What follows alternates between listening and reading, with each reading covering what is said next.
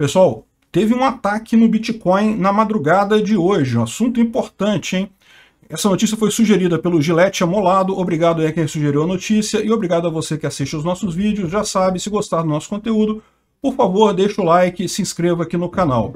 Pois bem, é uma notícia muito interessante porque eu falei que esse era um ataque possível e falei também num vídeo recente porque que não faz diferença uh, esse tipo de ataque, isso no longo prazo não faz diferença nenhuma, não é um ataque sério, uh, não tem nenhum efeito para o Bitcoin em princípio, mas é uma coisa interessante da gente entender, né? É, uma crítica que fazem muito ao Bitcoin é o fato de ah, a mineração está muito na mão de empresas chinesas e não sei o que lá, e isso seria um problema. Curiosamente, quem fez o ataque foi uma mineradora americana. Foi a tal da Marapool. A Marapool é uma mineradora dos Estados Unidos e ela atacou o bloco 262.160. Agora não sei não, acho que é o 262.170, hein? É, tá vendo? Tá escrito 262.160 aqui, mas é o 262.170. Olha só esse bloco, como é que tá ele aqui. Primeiro você repara que ele é um bloco pequeno em relação aos demais. Os demais têm transações, é, um número de transações muito grandes. Esse daqui teve um número de transações relativamente pequeno, teve muito pouca taxa. É, o minerador aqui está como desconhecido, mas você vê aqui ó, que está escrito que é o Mara Pool OFAC Compliance Block. block. É, então, o que, que, é isso daqui? Né? lembra como é que funciona o processo de mineração no Bitcoin? Para quem não conhece, funciona da seguinte maneira. É, um problema que você tem em é, moedas descentralizadas é que você precisa ordenar as transações. E como não existe um banco de dados único, isso tem que ser feito por alguém. Alguém tem que ordenar as transações a cada minuto. Como é que o Bitcoin resolve isso? A cada 10 minutos, mais ou menos, uma mineradora, que é uma entidade especial dentro da rede, consegue resolver uma charada matemática qualquer, e quem resolve essa charada matemática mais rápido consegue o direito de uh, ordenar as transações que estão na mempool. Então, a mempool é um conjunto de transações que estão desordenadas. Para elas entrarem no blockchain, elas precisam ser ordenadas, são confirmadas quando elas entram no blockchain. Quem faz isso, a cada 10 minutos é sorteado uma pessoa no mundo todo, uma, um minerador que vai fazer essa ordenação. E quem ordenar, e quem ganhar esse direito de fazer ordenação, quem resolver a charada matemática para ordenar o bloco, ganha alguns bitcoins com isso. Então, uh, existem um monte de mineradores por aí que não conseguem ordenar bloco porque simplesmente não conseguem resolver a charada mais rápido que os outros. Esse caso é um caso desses. Essa Mara Pool é um pool recente e essa é a primeira vez que ele consegue minerar um bloco na, na rede do, do, uh, do, bit, do uh, Bitcoin é, na blockchain, e ele colocou isso daqui, ó, Marapool OFAC Compliant Block, ou seja, é um bloco, segundo ele, é, em acordo com regras da OFAC. OFAC são regras para você ter é, garantia de origem do Bitcoin. Então esse é o ataque que eu falei que era possível. Qual que é o ataque? É se uh, os mineradores decidirem banir determinados endereços. Então determinados endereços não podem mandar Bitcoin é, é, porque não são verificados, não fez o, o KYC, não vem de uma corretora conhecida, então as, é, essa, esses mineradores têm medo disso ser alguma coisa de é, tráfico de drogas ou de lavagem de dinheiro, ou, mas na, na maior parte das vezes é apenas pessoas querendo se ocultar do governo americano, ou do governo mundial, de qualquer governo aí que tem em qualquer lugar do mundo. Então, no final das contas, esse tipo de garantia é, ataca a fungibilidade do Bitcoin. Ou seja, a fungibilidade é o quê? Cada moeda do Bitcoin, não importa por onde ela passou, não importa o que ela seja, ela vale o que ela tiver lá. Um Bitcoin vale um Bitcoin, não importa se você recebeu do endereço A ou do endereço B. Agora, esse ataque faz isso, ou seja, esse ataque, essa mineradora, ela passou a limitar uh, os, uh, os, os blocos aceitos, ela passou as transações aceitas naquele bloco. Então ela só minerou, só colocou ordenado naquele bloco as transações que ela achava justas, ou que ela achava que tinha algum valor aí, tipicamente para corretoras, né? Qual que é o problema disso? O problema disso é, é, é que imagine que você tem um ataque de 51% desse tipo. Então você tem várias corretoras que estão com esse mesmo critério de você só aceitar determinados endereços de Bitcoin.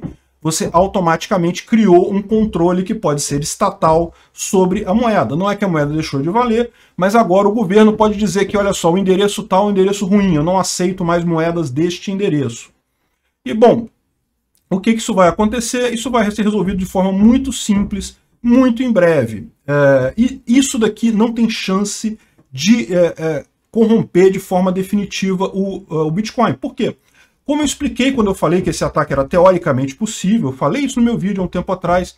Eu vou buscar direitinho qual é o vídeo que eu falei isso. Eu não lembro se é no do o que eu falei sobre mineração, que era do Satoshis no início do, do bloco, ou se era no do Taproot que eu expliquei esse negócio. Mas o fato é, não há este problema de fato. Por quê? Repara o que aconteceu com essa corretora. Ela ganhou só 0,05 bitcoins de taxa. Muito pouco. É, outros blocos, se você pegar um bloco mais recente, recebeu aqui 0,86 bitcoins de taxa, recebeu 49 mil de taxa, embora o bloco dela recebeu 2.900 dólares. É um desincentivo enorme para a corretora fazer isso, porque ela acaba recebendo muito menos do que ela poderia receber fazendo isso. Aí você pode falar, ah, mas o governo pode estar por trás disso, o governo tem uma força enorme, ele pode forçar um monte de mineradoras nesse tipo de coisa. Veja qual problema que isso vai acontecer. Isso não vai impedir de outras mineradoras é, é, minerarem outros blocos e colocarem na blockchain. Então, no final das contas, esse tipo de problema não resolve, não gera um problema grande enquanto essas corretoras forem poucas, né? enquanto o, o, as corretoras que seguem a OFAC forem menos de 51%. Ou seja, os seus blocos vão continuar sendo minerados, os seus bitcoins você vai continuar uh, existindo, transacionando eles sem problemas, é, só pode demorar um pouco mais, porque naquele bloco que foi minerado por ela, e isso foi um bloco só que aconteceu nessa madrugada, isso aí, é, esse bloco a sua transação não foi, mas qualquer outro bloco você vai. A sua transação iria no bloco seguinte, no bloco uh, uh, 262171, já iriam as transações todas de qualquer forma. Então esse tipo de ataque não tem nenhuma chance de vingar de forma mais significativa, é, porque na verdade o que aconteceu com isso foi uma repreensão geral ao pessoal contra esta mineradora. Um monte de gente já tirou o hash power dela, ou seja, já desacreditou a mineradora, de forma que ela já perdeu muita força com isso. Então a decisão dela de fazer uma mineração direcionada ao OFAC muito provavelmente vai fazer água. Veja, o Bitcoin ele tem um equilíbrio muito delicado que envolve não apenas a criptografia. A criptografia é um passo importante, mas envolve também justamente o equilíbrio econômico dos blocos que estão lá. Tem que ser interesse de todo mundo que participa da rede que o Bitcoin melhore com o tempo.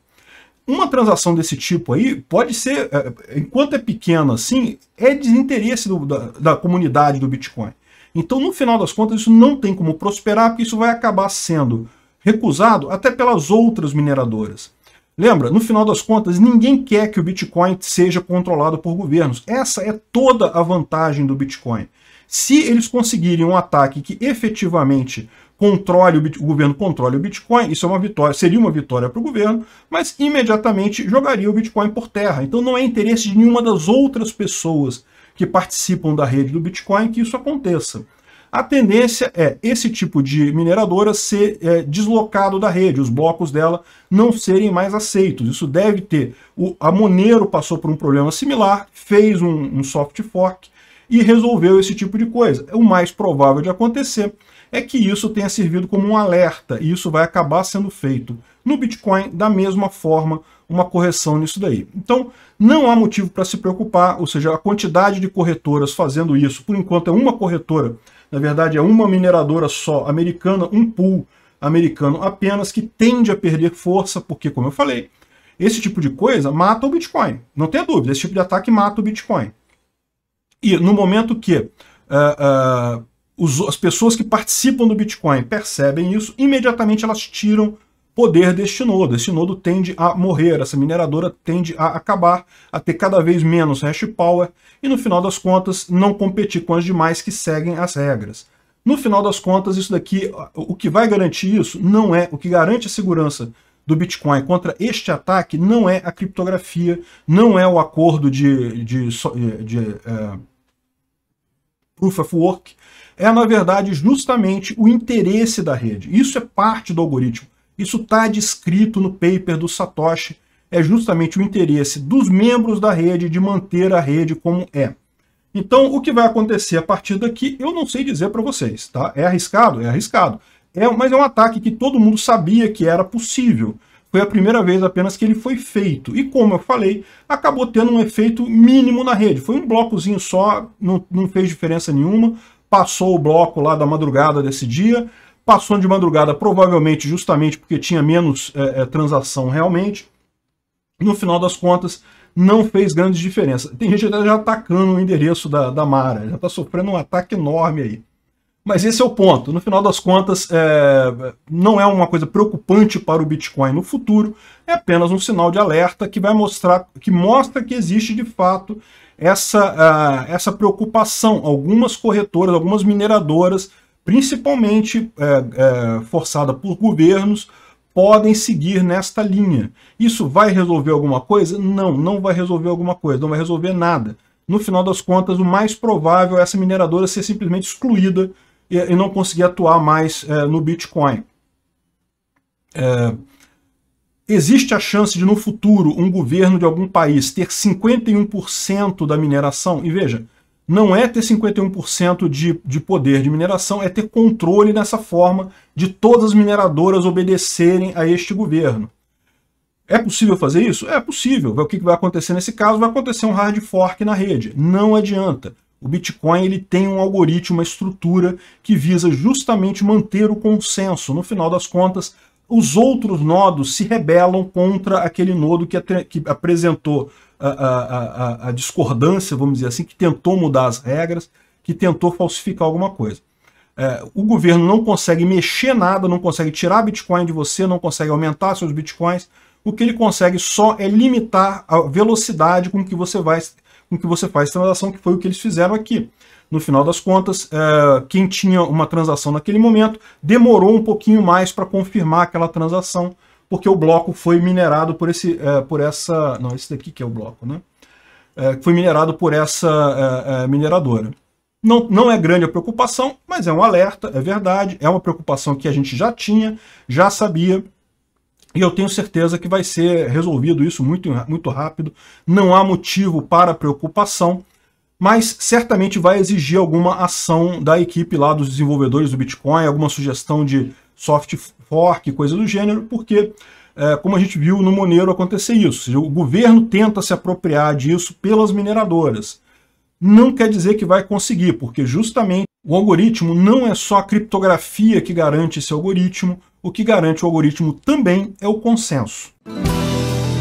Se chegou até aqui e gostou do conteúdo, clique no like e se inscreva no canal. Isso me ajuda e ajuda também a causa da liberdade, pois o YouTube vai passar a recomendar mais os meus vídeos e vídeos com temas libertários para você e para outras pessoas. Considere também clicar no sininho e pedir para ser notificado de novos vídeos. Caso queira sugerir uma notícia para falarmos aqui, é só ir no nosso site https ancap.su, clicar lá em sugerir uma pauta, colocar o link da notícia, pode acrescentar alguma informação se você quiser. Eu agradeço a todos que nos ajudam a fazer este programa.